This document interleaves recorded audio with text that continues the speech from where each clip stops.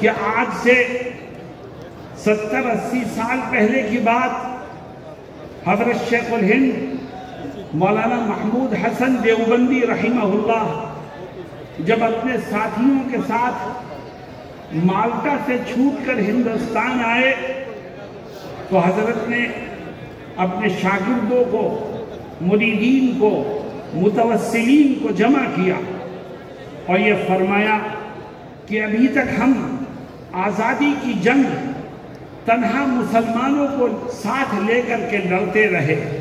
और अंग्रेज़ लड़ाओ और हुकूमत करो की पॉलिसी पर अमल करता रहा।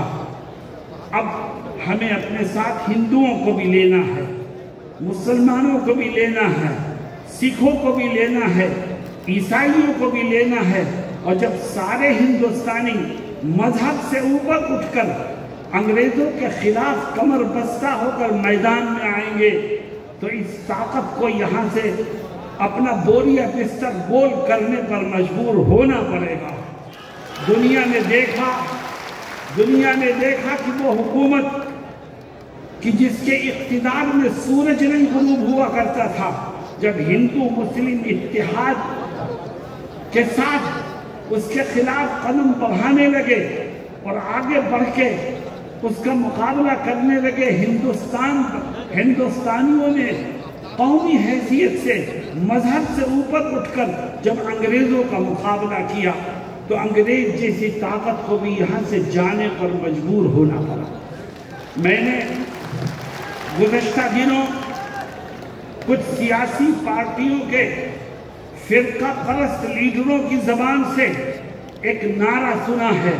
मैं उस नारे को सही सिंत देना चाहता हूँ। वो कहते हैं कि बटोगे तो कटोगे। मैं भी कहता हूँ कि बटोगे तो कटोगे।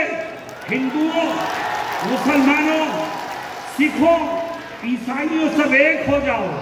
जब इस मुल्क में रहने वाले सब एक हो जाएँगे तो फिरका परस्तों का मुँह काला होगा और ये मुल्क अमन अमान का गहवारा बनेगा। आज मुल्क को बांटने के लिए, आज मुल्क को तकसीम करने के लिए नई नई कोशिशें हो रही हैं। जमीयत उलमा ने आपको आवाज़ दी है, जमीयत इस मुल्क की रखवाली करती है। जमीयत के बुज़ुर्गों ने इस मुल्क की आज़ादी के लिए वो कुर्बानियाँ दी हैं कि जिसकी मिसाल दुनिया की कोई कौम पेश नहीं कर सकती। आज हमारे बुज़ुर्गों के बनाए हुए कॉन्स्टिट्यूशन को, आइन को बदलने की कोशिश हो रही है। याद रखो, जब तक इस मुल्क का सेकुलर आइन बाकी रहेगा, उस वक्त तक ये मुल्क मुतहिद रहेगा। और जब मुल्क का सेकुलर आइन खत्म हो जाएगा तो ये मुल्क भी टुकड़ों में तकसीम हो जाएगा। और आओ आओ हम तय करें कि हम अपने अपने बुज़ुर्गों के बनाए हुए सेकुलर आइन को तब्दील करने की किसी कोशिश को कामयाब नहीं होने देंगे मेरे दोस्तों और साथियों, कौमी यकजहती का पैगाम जमीयत उलमा हमेशा देती है और वो ये कहती है कि मुसलमानों इस्लामी अखलाक और किरदार के ज़रिए से गैरों को अपनाने की कोशिश करो। जिस दीन और धर्म को हम मानने वाले हैं उसमें एक दूसरे का एहतराम करना, एक दूसरे को मुआफ करना, एक दूसरे के साथ हसन सलूक करना, इसकी बड़ी अहमियत है। इसलिए हमें इस मुल्क को हमेशा जोड़ने की कोशिश करनी चाहिए।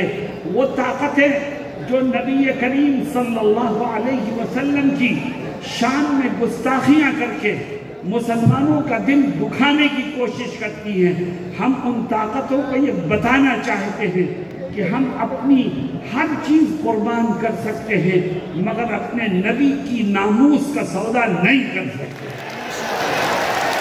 मेरे दोस्तों और साथियों, जहाँ तक हो सकेगा, हम नबी करीम सलाम की इज़्ज़त और नामूस की हिफाजत करते हैं और इन आखिरी दम तक करते रहेंगे।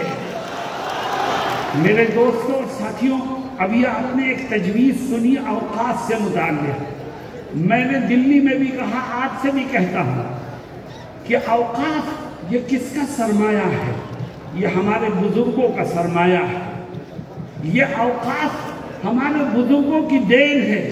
किसी ने ज़मीन वक्फ की है मस्जिद के लिए, किसी ने ज़मीन वक्फ की है मदरसे के लिए, किसी ने ज़मीन वक्फ की है कब्रिस्तान के लिए, किसी ने ज़मीन वक्फ की है गरीबों और बेवाओं की मदद के लिए ये हमारे बुज़ुर्गों का सरमाया है।